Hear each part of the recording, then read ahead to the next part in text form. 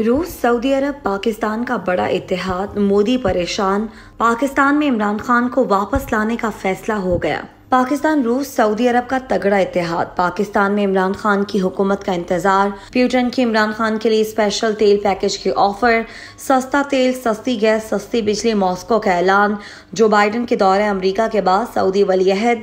Mohammad bin Salman की रूसी सदर से लंबी कॉल। एशिया में अमरीका के खिलाफ बड़ा इतिहाद बनाने का ऐलान। रूस, सऊदी अरब का इमरान खान को साथ मिलाकर अमेरिका के गिर्द घेरा तंग करने का ऐलान। इमरान खान, मेरा भी दोस्त है प्यूटन का मोहम्मद बिन सलमान से मुकालमा। रूस का गर्म पानियों तक रसाई का ख्वाब। पाकिस्तान की एनर्जी और दिफाई ज़रूरियात। रूस की खान के लिए स्पेशल तेल फ्री ऑफ़र। दोस्त हो प्यूटन जैसा। बदलती हुई सूरत हाल में मॉस्को से बड़ा पैगाम। खान के आते ही पाकिस्तान का एनर्जी क्राइसिस खत्म करने का फैसला। सस्ता तेल, सस्ती गैस, सस्ती बिजली। रूसियों ने पाकिस्तान को बड़ी खुशखबरी सुना दी। रूस, सऊदी अरब का अमरीका को चैलेंज करना वो मुहरकत हैं जो जियो को यकसर तब्दील कर रहे हैं। एशिया में जियो का इतना बड़ा शिफ्ट शायद कभी पहले नहीं देखा गया। रूस का इमरान खान को सबसे सस्ता तेल देने का ऐलान, पाकिस्तान के इदारों के लिए फैसला कन वक्त, पाकिस्तान और रूस के दरमियान इम्पोर्टेड हुकूमत एक बड़ी रुकावट। खान के वज़ीर आज़म बनते ही रूस की पाकिस्तान पर तेल, गैस की बारिश। खान ने मुश्किल वक्त में हमारा साथ दिया, इसका पूरा पूरा बदला चुकाया जाएगा। नूंदी की डील जो आईएमएफ के साथ हुई, इस पर बात करते हैं। वीडियो के आखिर में रूस की ऑफ़र देखते हैं। पाकिस्तान को रूस से सस्ता तेल खरीदना चाहिए या नहीं, हमें कमेंट बॉक्स में बताइए। इस टॉपिक का बाकायदा आगाज़ करने से कबल नए आने वाले दोस्तों से गुजारिश है वो हमारे चैनल को सब्सक्राइब करें। शुक्रिया। नाजिन काश, अगर आज पाकिस्तान में इमरान खान की हुकूमत होती तो तेल का बोझ अवाम पर ना डाला जाता। खान रूस के साथ एक ऐसी डील तक पहुँच चुका था, जिसने पाकिस्तान में तेल को सस्ता कर देना था। लेकिन फ़िक्र की कोई बात नहीं, रूस अब भी अपनी जबान पर कायम है। अब तो सऊदी वली अहद मोहम्मद बिन सलमान ने भी पाकिस्तान को साथ लेकर चलने का ऐलान कर दिया। तेल की दौलत के माला माल ममालिक का पाकिस्तान को सस्ता तेल देने का ऐलान। बस देर है तो हमारी तरफ़ से कि हम इम्पोर्टेड हुकूमत को घर भेज कर खान को इकतदार में ले आए। अब इदारों और आवाम को फैसला करना है कि कैसे चलना है। आईएमएफ ने हुकूमत को तेल मजीद पचास रुपए महँगा करने का बोल रखा है।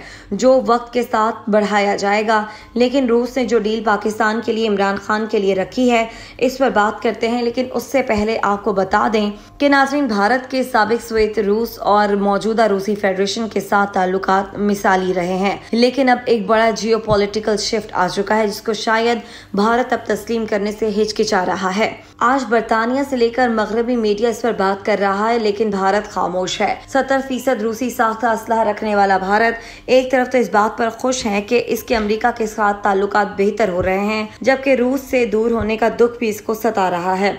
ये तो अब भारत पॉलिसी साजों को फैसला करना है कि वो किस इतिहाद का हिस्सा बनते हैं। इन सब के बीच भारत के लिए जो बात सबसे ज़्यादा खतरनाक है, वो ये कि अब पाकिस्तान रूस बहुत करीब आ चुके हैं। जस्ट खान की हुकूमत आने के साथ ही भारत को बहुत बड़ा सरप्राइज़ मिलने वाला है। ये बात भारत के लिए किसी ड्रोने ख्वाब से कम नहीं, क्योंकि भारत दिहाइयों से रूसी असलहे का सबसे बड़ा खरीदार रहा। पहले हम एक नज़र पाकिस्तान और रूस ताल्लुक पर डालते हैं, फिर नई डेवलपमेंट पर बात करेंगे। नासिन पाकिस्तान और रूस के माबेन ताल्लुक में पेश रफ्त मुआशी और दिफाई तरक्की के जामिन में नए दौर का आगाज़। खान के दौर रूस के साथ हो चुका। इस सिलसिले में रूसी वज़ीर खारजा का गुजशत साल पाकिस्तान का दौरा इंतहाई अहम था।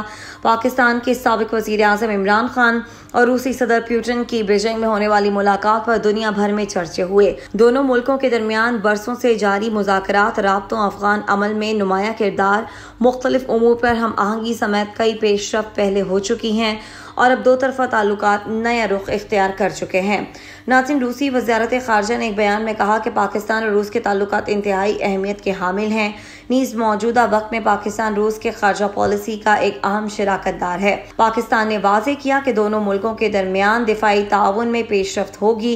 तहम इस अमल को किसी के खिलाफ जहरियाना अजाइम के तौर पर ना समझा जाए, जिसका इशारा यकीन भारत की तरफ़ था। डिप्लोमेटिक अंदाज में ऐसे ही बात की जाती है। जनूब एशिया में मुख्तलिफ़ मुल्कों के दरमियान इख्तलाफात को पुरम अंदाज से आलमी कवानीन को मद्देनजर रखते हुए ही दूर किया जा सकता है।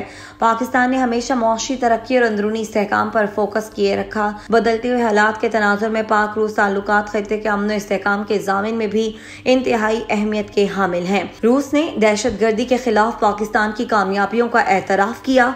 और सराहा है। नाजिन बैन अवी मीडिया में पाकिस्तान, रूस, दोस्ती के पीछे चीन के हाथ को तस्वर किया जाता है और शायद इस हकीकत से इनकार भी नहीं किया जा सकता। इसके लिए भारत एक अहम मुल्क है, पर चीन, रूस के लिए ज़्यादा अहम मुल्क है। इससे कबल पाकिस्तान गुजशत कई बरसों से रूस से एस यू थर्टी सेवन लड़ाका तैयार हासिल करने की कोशिश करता रहा है। लेकिन रूस और इंडिया के दरिया ताल्लुक हर बार इस अहम दिफाई सौदे की राह में आड़े आते रहे हैं। लेकिन रूसी और पाकिस्तानी दिफाई माहिर न सिर्फ़ रूसी वज़ीर खारजा के इंडिया और पाकिस्तान के गुजशत साल के दौरे, बल्कि पाकिस्तानी बर्री फौज के सरबराह की जानब से इंडिया के साथ ताल्लुक बेहतर बनाने की बिलवास्ता पेशकश को भी सौदे की राह हमवार करने की कोशिश का हिस्सा करार दे रहे हैं। नाजिन बाखबर जराये ने दावा किया है की जब से पाकिस्तान में इमरान खान की हुकूमत गई है, उस वक्त से अब तक रूसी क्यादत का खान से मुकम्मल रबता है।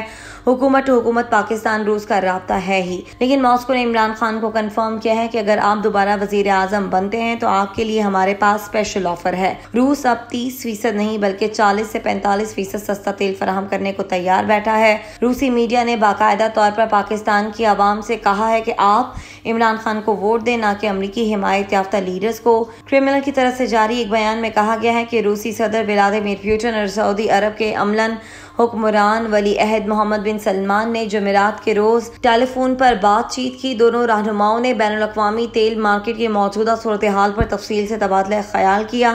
और तेल पैदा करने वाले मुल्कों की तंजीम ओपेक्स प्लस ग्रुप के दरमियान मजीद ताउन की अहमियत पर ज़ोर दिया है। दोनों रहनुमाओं ने खत्े और आलमी आमना इसकाम ने नीस ताल्लुक को जदीद खतूत पर उसवार करने के हवाले से तफसीली तबादला ख्याल किया। ये टेलीफोनिक गुफ्तु ऐसे वक्त में हुई जब छह रोज कबल ही अमरीकी सदर जो बाइडन ने सऊदी अरब का दौरा किया था और वली अहद मोहम्मद बिन सलमान के साथ बातचीत की थी। पाकिस्तानी बर्री फौज के सरबराह की जानब से इंडिया के साथ ताल्लुक बेहतर बनाने की बिलवास्ता पेशकश को भी सौदे की हमवार करने की कोशिश का हिस्सा करार दे रहे हैं। नाजिन, बाखबर जराये ने दावा किया है की जब से पाकिस्तान में इमरान खान की हुकूमत गई है, उस वक्त से अब तक रूसी क्यादत का खान से मुकम्मल रहा है।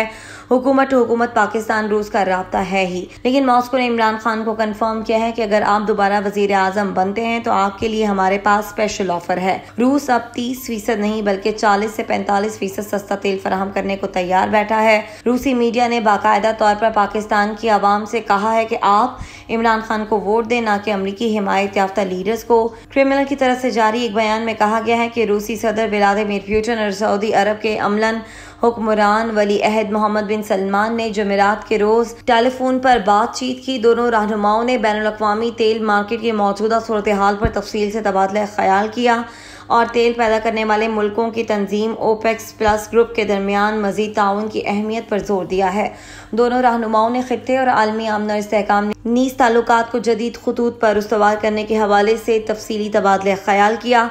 ये टेलीफोनिक गुफ्तु ऐसे वक्त में हुई जब छह रोज कबल अमरीकी सदर जो बाइडन ने सऊदी अरब का दौरा किया था और वली अहद मोहम्मद बिन सलमान के साथ बातचीत की थी।